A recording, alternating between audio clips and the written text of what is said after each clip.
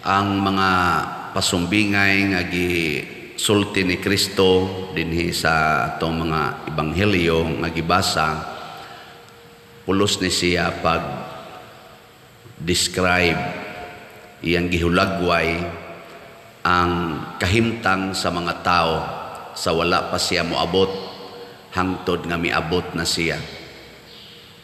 Unang naigibutang diri nga gipang salikway kuno tong iyang gipang imbitar aw katong iyang gisugo. Niya ang uban gani gipang dakop o gipang patay. Mao to sila ang mga propeta nga naguna kaniya.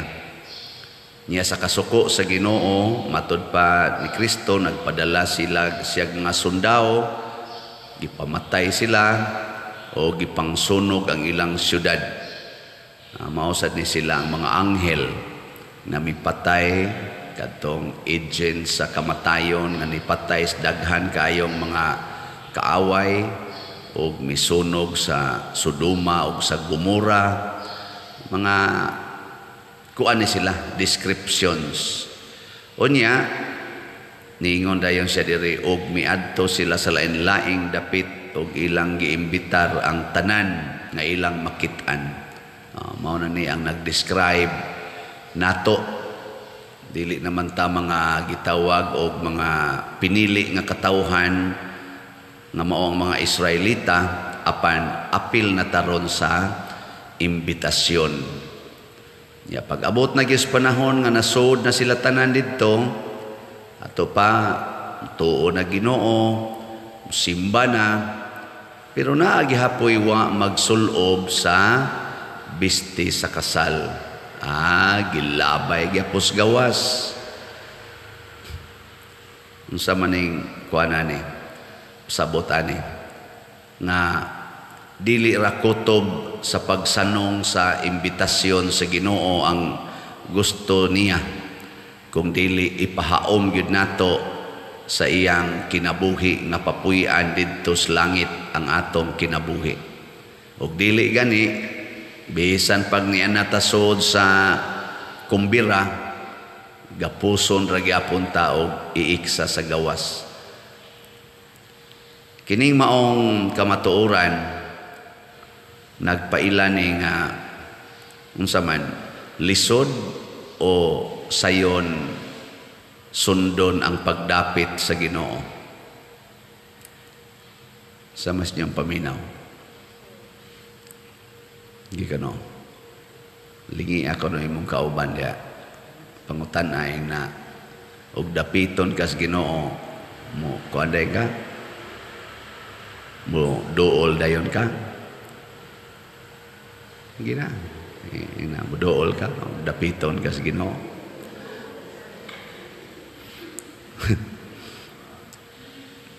Ang pagdapit sa Ginoo makaingon tang lisod sa doy kay Mura mag-istrikto kay tanan.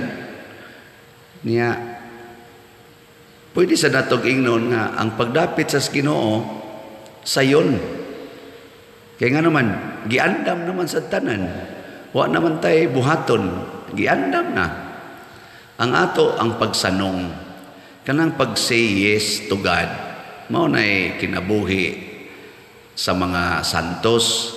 Sige lang sila, yes, Nya, kinsa na may mo limpyo nila, kinsa may mo sulob nila sa bisti sa kasal, ang ginoo mismo. Mo nang naas atong unang pagbasa ningon ang ginoo, akong ipakita sa inyong mga kaaway nga ilisa na nako inyong kasing-kasing. Ako paginang buuan og limpyo nga tubig.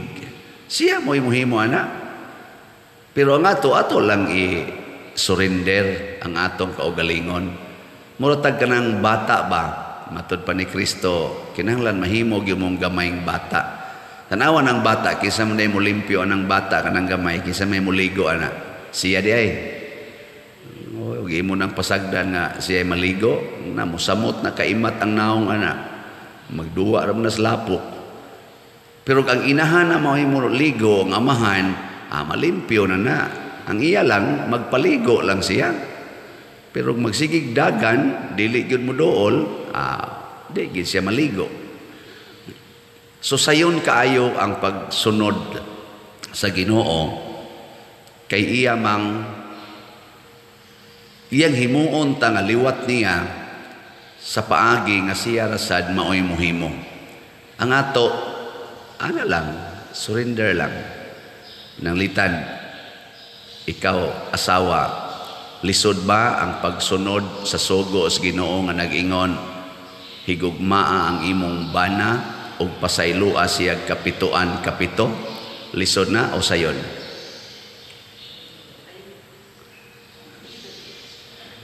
Anong di man mong tubag? Lisod, sayon. Ah, depende na ninyo. Kamusang mga bana. Kung muingon sad ang Ginoo nga higugmaa ang inyong asawa sa kasakit o sa kalipay, sa kahamugaway o sa kapitos, sa panangusa, sa sakit o sa maing panglawas, hangtod ang kamatayon, mubulag kaninyo. Sa na, lisod na o sayon?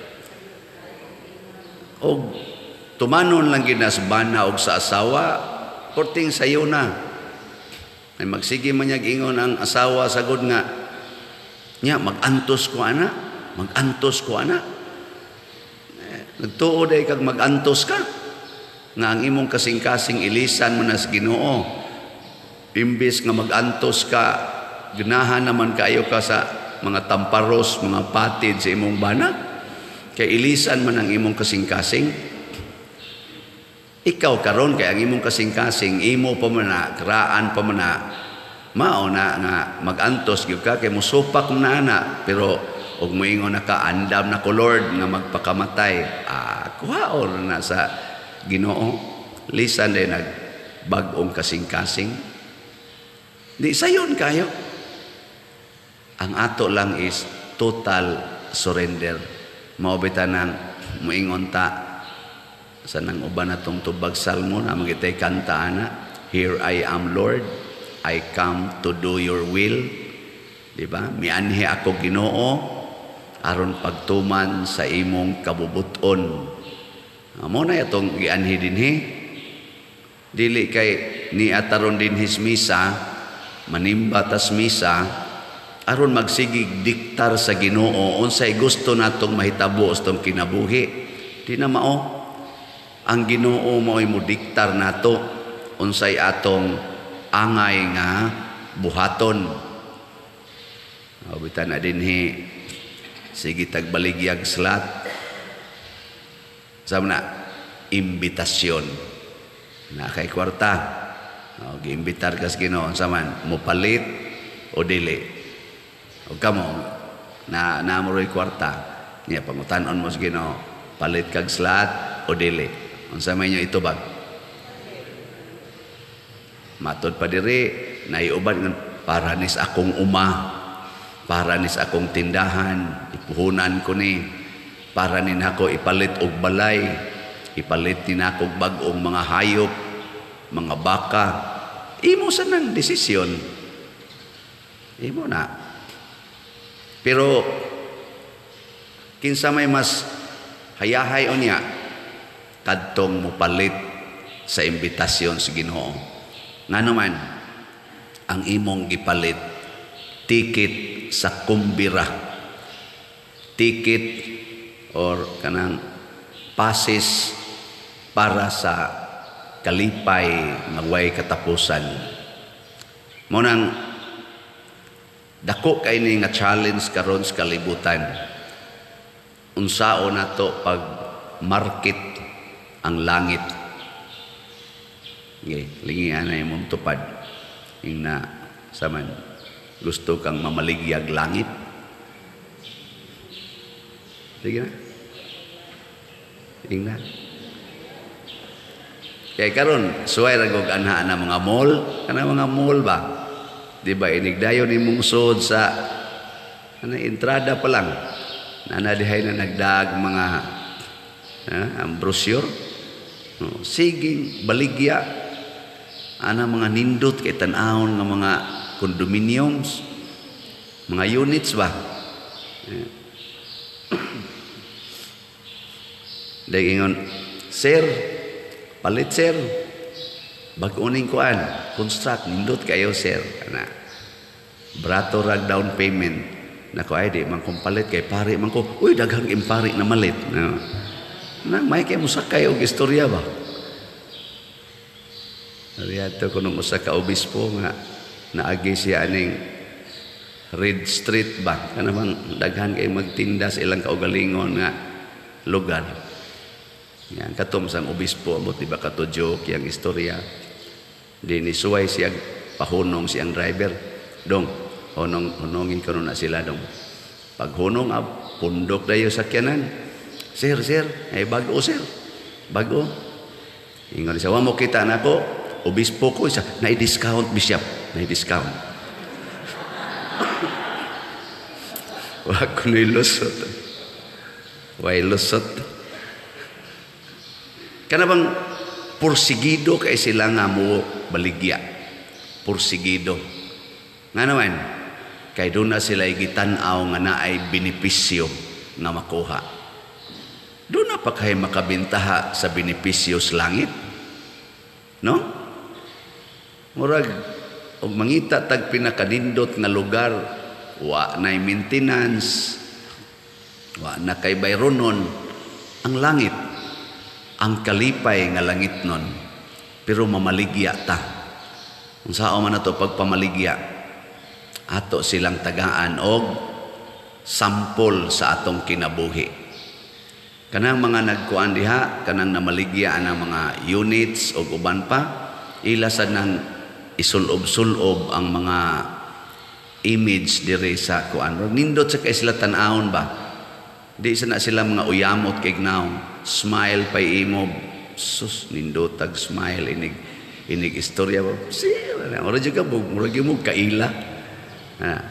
Eh kana be, so ay kuno ngadto ron iniguli ninyo sa inyo baligyae kuno ng inyong mga silingan diyan kasigi lang og standby baligyae kuno langit sa may unang buhaton. Smile. Gisugo taros Ginoo. Adtua sila.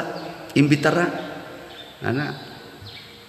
Gi smile mo dito. Labi na ng mga maritis kay tanan sige gilibak nimo smile. Ngadto tag langit ug maha. Ana. Saman sugod na mo pamaligya karon. Og dili gani madag baligya ang, ang pagsimba baligya lang palit og slat uh, indirect man na. Indirect nga mura kag ni appeal sa misa. Pero testingi ko no? Pero ang pinaka nindot nga pamaagi maogyod ang pag-alagad kanila. Si Kristo gidaan niya ang langit nganhis kalibutan pinaagis pag-alagad niya nato. Sa dihang nisugod na siyag pangalagad sa mga masakiton, sa mga linupigan, sa mga kabos, sa mga sinalikway, iya na tong gipang-alagaran, nisugod dayon pagsidlak ang iyang presensya. Mautong daghan na tao magsigig dool niya. Niya, ang sunod niyang gibuhat nganong ang langit na baligya gid niya niya purti na rong daghana sa nisunod wa gid mohunong siging kahalin siging kahalin. Kay iyang gi pakamatyan ang iyang produkto. Ang produkto niya nga gugma pasaylo kaluoy kalinaw iyang gi pakamatyan Mao na kung ato ning buhaton ang pag-alagad ug ang pagpakamatay sa atong isig katao labi nas mga nanginahanglan dali kay mahalin atong produkto nga langit. Muna si San Vicente Ferrer dako na kay si San Roque. Ah, bago patang nagpista ambot pila ka kabuk nga hubog atong mga pistahan ni Agiron ana dako na kay naghalin si San Roque, si San Pedro Calungsod, San Lorenzo Ruiz. Nganuan, ilag yung gi, agi sa pag-alagad, pag-antos o pagpakamatay tungod og alang sa ilang produkto. Wa sila mahadlok, magantos. kana bitang mga tao nga mulampos sa ilang mga negosyo kung pangutan-o na nimo mga tawhana unsay nakapalampos ilang negosyo ilag yung gi antusan og maayo hapit way mga tulog. Antos gyud. Hangtod gyud nga ni lambo ang maong negosyo. Pero kana ganing magnegosyo nga on and off ang itawag nila sa sira sira sira store. Oh, imbis sari-sari store eh, sira sira sira store. O oh, mag-anam ginag kaaw antusa antusa bayo ingkaway halin pa dir sige lang yung paninda bahala way mo palit. Antusa gyud ah dugay ana. Mahalinan gyud ka. Hangtod mag-anam ginasiyag ka sikat. Ngunang importante kaayo di ay ang strategy na Diyos nun.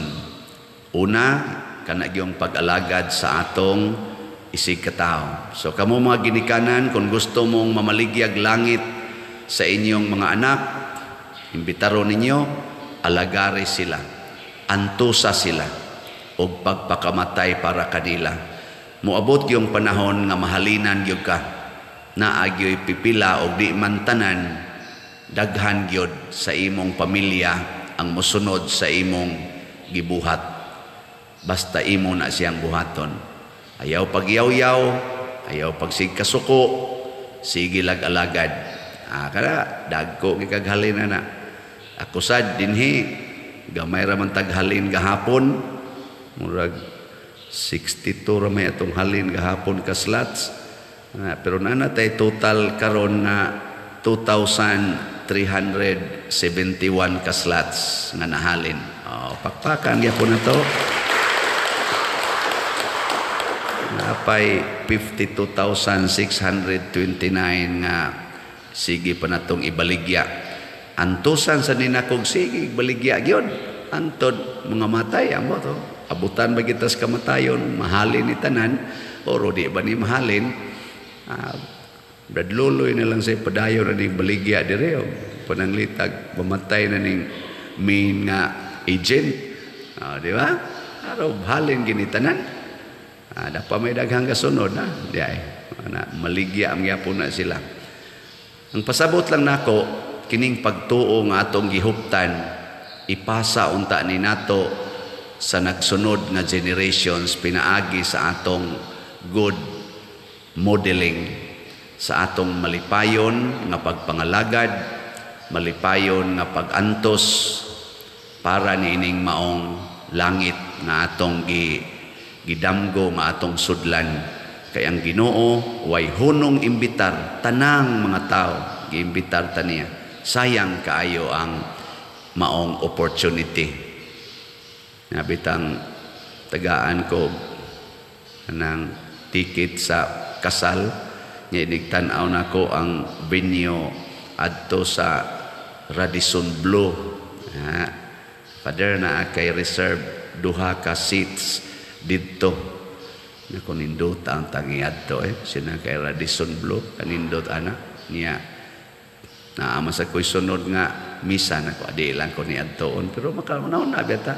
Kaadto na ta ko anida uh, napay mo ingon ako pader na ay libre nga duhasad ka kaning kuan persons para sa kanang eat all you can sa sa buffet sa Marco Polo. Kamu tagaan tama na lipay mo. Dili. Lipay oy. Kinindot ana Marco Polo tag pila na ron dito ang per head ana. Pero mas nindot yun ang i-offers Ginoo nga langit. Kadto yun mo mas nindot. Wa na gito'y katapusan. So, madasig ta pagpamaligya ni ini, pinaagi sa atong pulong o atong buhat